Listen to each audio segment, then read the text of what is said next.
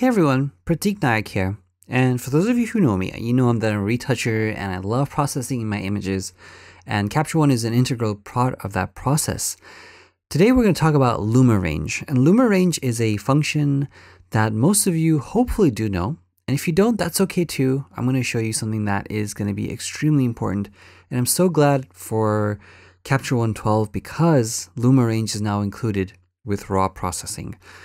And I keep saying the word, but what is it? So luma range is luminosity range, and luminosity range is very similar to luminosity masking for people who use Photoshop for landscapes, and uh, it's really handy because you can take, for example, um, an exposure, like an increased exposure of a particular image, and then mask it in, say, like the shadows, or in a different region that you might not be able to get otherwise. For example, let's say you're trying to control the shadow region of this image that was shot by Ausra, who's a really great photographer. And I love this image because it serves as a beautiful example of what we could do.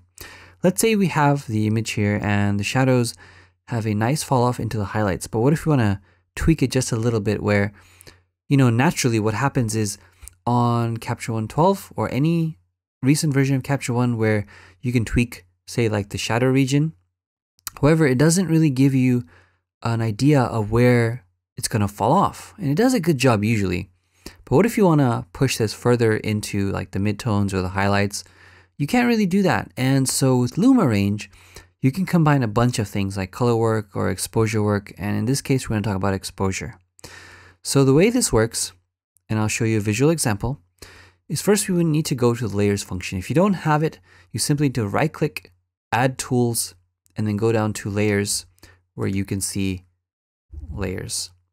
Make sure that you're either here on your color tab or exposure tab, or you know, if you have another tab you want to add, you're more than welcome to do so, or put them in any of these other tabs too.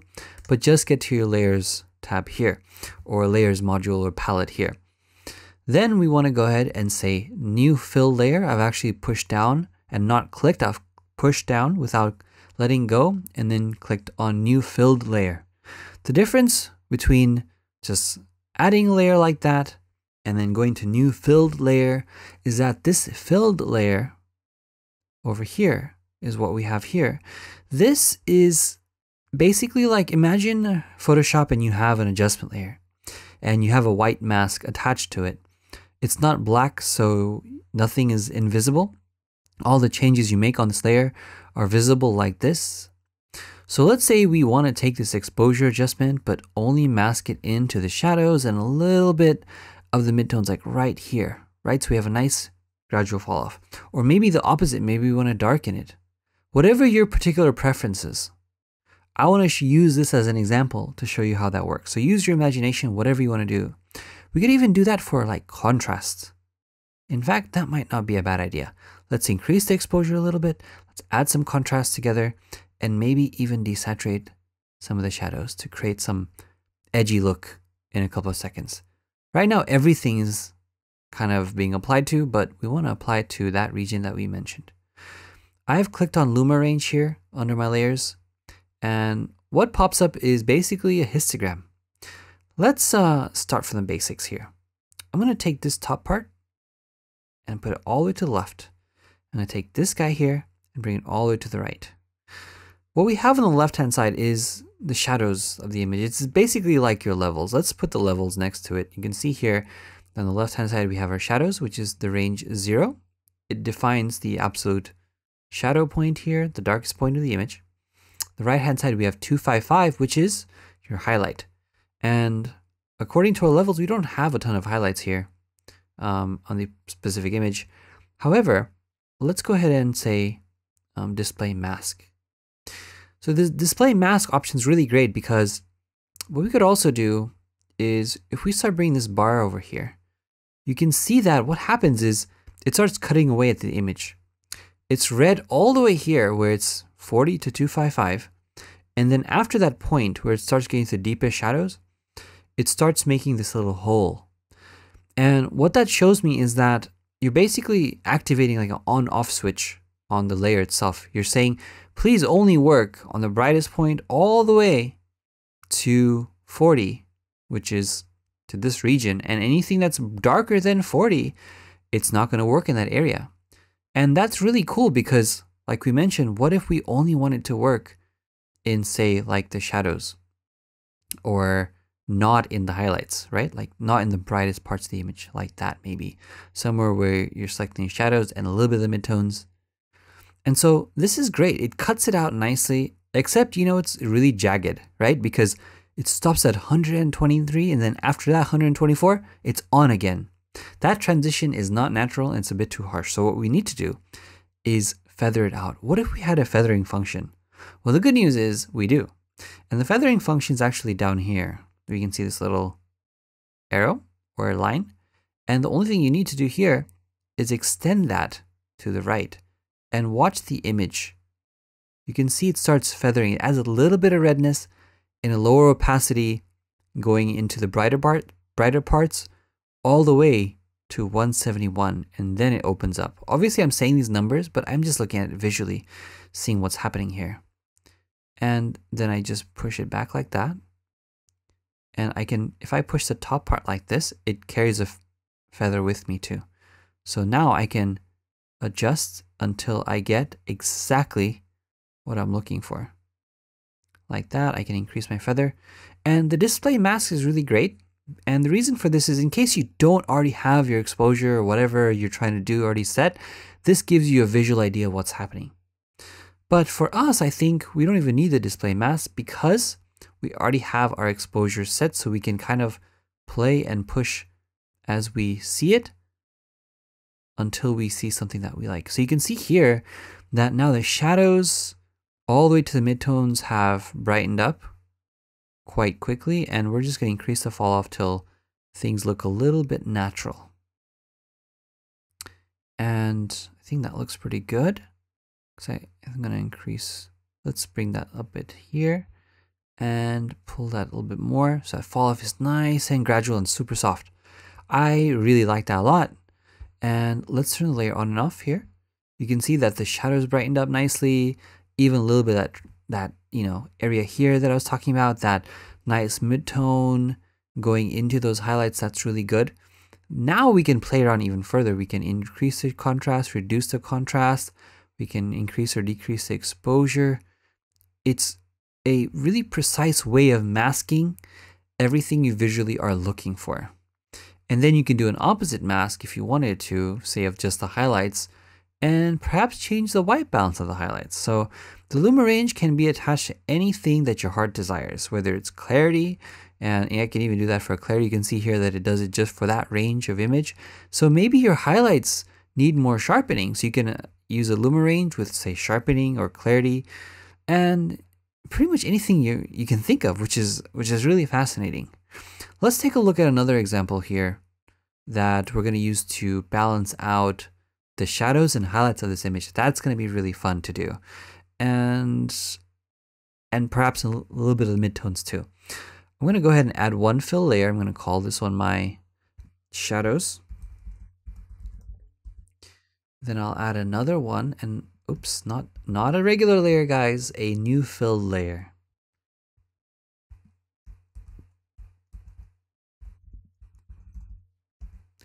Highlights. Now the first thing is let's go ahead and play with highlights. I'm to drop my exposure down, generally speaking, like so. Um, I might even complement that by going and adding a little bit of highlight recovery in the high dynamic range slider so we get a nice fall off highlights and all the way to the midtones too. So we'll start with our highlight function. And now, if you remember what's what's what, um, by default it starts at 235 here. And the problem with that is at 255 is where things are getting blown out. So it's not active at that area. So I'm going to bring this region back here. So you can see that's working.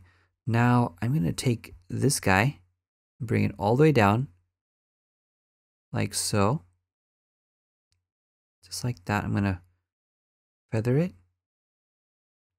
Let me temporarily say apply, okay? I'm not, I'm obviously not applying that as is. I just want to say apply for a minute. I'm to bring the exposure back right there. There you go. So you can see a huge difference, right? Because now without it, you can see the highlights are spilling into the foreground here, and there's also the dress and everything. And now the legs themselves, let's zoom in here. We've done some good work. I want to show you what that looks like on a pixel level. You can see that the dress itself and the legs and the detail on the legs are coming back and it's such a really nice soft balance. And because of the Luma range function, I'm getting really excited here. Because of the Luma range function, um, you're able to control and visually see, you know what, where should that fall off end? Where should it start? And as you modify and tweak, you get that exact, precise, refined balance you're looking for. And if you're really specific like I am, you know how important it is to get that delicate balance, tack sharp on the image. And what I mean by tack sharp is, let's say for example in this image, right? You have that highlight and shadow transition. Sometimes when that balance is not right visually, the image is thrown off. And in this example, you know, I really want to emphasize that and show you that even with something that can be really complex, this is possible. Because normally what I would do is try to like dodge and burn it. And there's no way to get a refined mask that precise. This is so beautiful and subtle. And the benefit is you're using the raw data. But when you use the raw data, you're able to tweak things further than you would, say, like in Photoshop, where you don't have the raw data when you open the file and work on a PSD or TIFF. It's just not there as it is with this. Now let's go back down to our shadows and I'll do the same thing. I'm going to increase the exposure a little bit here. Maybe like 0.52, not too much. I'll go to my Luma range. Next, I'm going to turn off my highlights. I'm going to make sure that my highlights and shadows are fully um, calculated for. Let me bring up the range that I'm generally looking for. Something like that maybe looks pretty good. And then I'll go ahead and tweak the fall off like so. Let me bring this back now. So we have a nice, super nice gradual fall off here. Like that. I think that looks really, really cool a nice feathered fall off all the way past the midtones, going fading into the highlights just a little bit. I'll say apply. Let me turn off my shadows to show you. You can see those shadows just brighten up nicely. And now I can even increase the contrast if I want to or decrease the contrast. And here's something really cool that I want to show you. Now we have more of like a flatter, flatter image going on here. If I turn off the highlights and shadows, you can see that balance.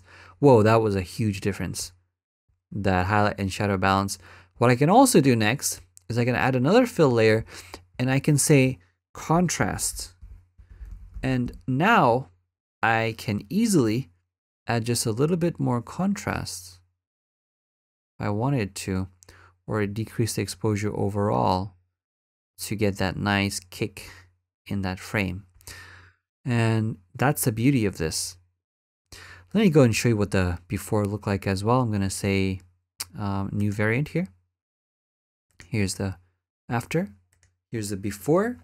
And just like that, I'm able to kind of control, you know, the shadows and highlight regions quite nicely um, and really add that contrast. So in a complex situation like this, it it really emphasizes the power of luminosity masks and luma range function with this. And we haven't even gone into anything crazy advanced like color grading with Luma ranges or what have you. We can even go in at another Luma range, say just for the midtones. We can mask out anything on top of that too if we wanted to. Um, so there's a bunch of things we could do with Luma ranges, but I really hope this showed you a little bit about what you could do with Luma ranges because there's a ton of things like, for example, um, let's say I go ahead and apply this we can also go into say like our highlights and perhaps if we didn't want it to be masked on the model, then we'd simply go ahead and, you know, play around. Not that I would do that right now, but I would just go ahead and erase the mask from the model just to give you an idea of what's possible. So even if you don't like something, it's easy for you to modify the mask once it's already applied. So you can combine Luma ranges with the manual masking capabilities and you get something really nice. And don't forget, you also have your hardness, size, flow, and opacity. So you don't have to be so abrasive like you saw me do here. And I think that's pretty much it. Let me go and show you what I have here. And so with layers, you can control different luminosity ranges so you not have to do everything in one go. Well, I hope this tutorial and insight showed you what is possible with the LumaRange function. I'm really excited to see what people do with this, and I know based on the amount of information our raw files have these days in the high dynamic range, especially in the phase one files and many other files, this is something that came at the right time that I know that I am very, very excited about.